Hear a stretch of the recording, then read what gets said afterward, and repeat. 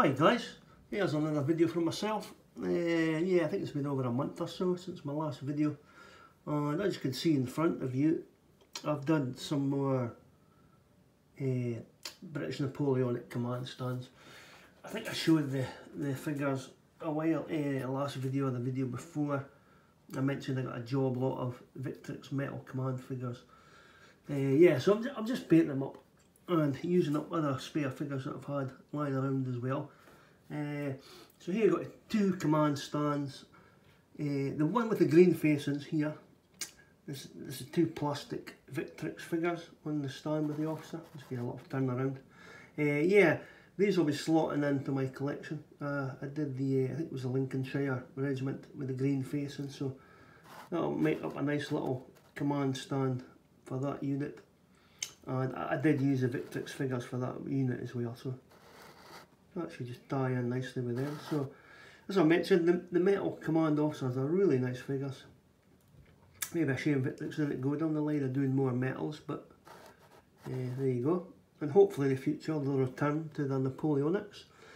I know it's a while ago, uh, yeah, quite some time ago, they mentioned that, that they had Napoleonic cavalry in the pipeline, so hopefully they'll go back and do them. That'd be quite nice. On the other stand, on the other side there, same officer, uh, slightly different horse this time. And this guys are done in the blue facings. Uh, this stand probably I'll put on eBay at some stage or something. Uh, which I don't really need it for any of my units. Uh, so the two plastic figures, the marching figures, they're the Warlord Games ones, which as I've mentioned before, not my favourite figures, but once painted, I think they actually turn out really nice.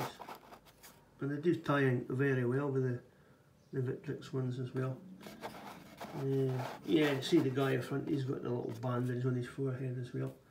So as I mentioned, nice nice enough figures to paint. Uh, so that's that's what I've got finished over the past few weeks. Uh, I've been spending most of my time either working outside or watching the, the World Cup.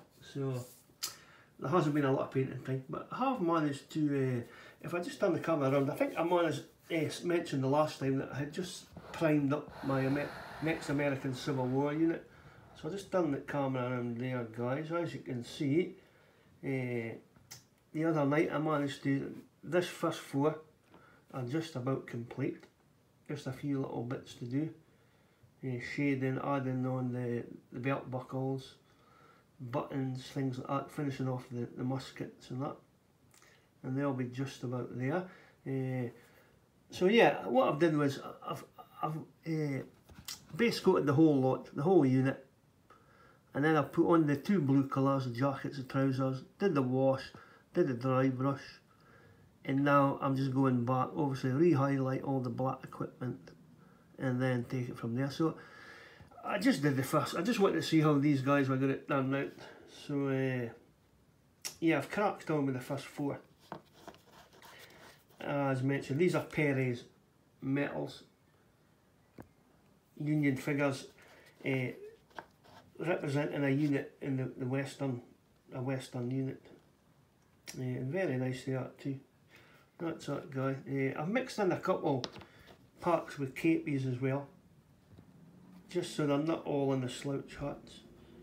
And uh, yeah, normal Perry sculpts, really nice indeed. I really enjoying painting these guys. So that's him. Uh, the drummer, yeah, a few things to do on the drum as well. As you can see, still uh, I've done the grey undercoat for all the the, uh, the rope and the, the knots and that down the side, so get that highlighted up. Uh, yeah, nice figures indeed. That's him and the last one in the stand. So these will be based in fours, the way they're set up. There's another guy reaching into his uh, ammo pouch, way to load up. So as I said, they're just about there. I've got muskets to do, rest all the brass buckles and buttons and what have you. So yeah, nice figures. Nice to be painting metals again. So as you can see, they're all they're all on their way there. Uh, the World Cup's finished today, Sunday.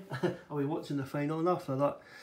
Uh, mind you, the weather's so nice, I don't know if it'll be stuck inside, but we'll see, we'll see. Uh, maybe an hour here and there in the evenings this week. I might crack on with these guys.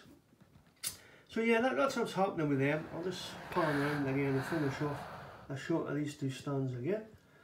I said, yeah, that's quite a few British stands I've done now, but yeah, I, I really enjoy painting up the little command stands. It's, it's, it's, a nice change. So I've got a few more. I think I've got another. I want to about four smaller command stands. I think it's mounted officers and sappers, engineers, Victrix metal. So I'll, I'll work on them while I'm doing the uh, the American Civil War unit. So that's an update for me, guys. Uh, yeah, I've been watching all the videos. I've been commenting a lot. I've just been, I'm so far behind with them. I've just been watching them and liking them. Uh, a few comments here and there when I can. Uh, but really enjoying all the stuff that's going out there, guys. Keep it up. And uh, yeah, hope you enjoyed this little video and we'll catch you again soon. Thanks for watching. Bye bye.